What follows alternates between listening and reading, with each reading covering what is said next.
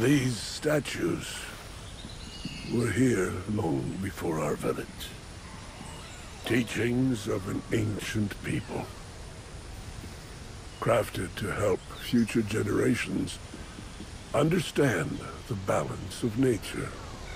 We did not understand their meaning until it was too late.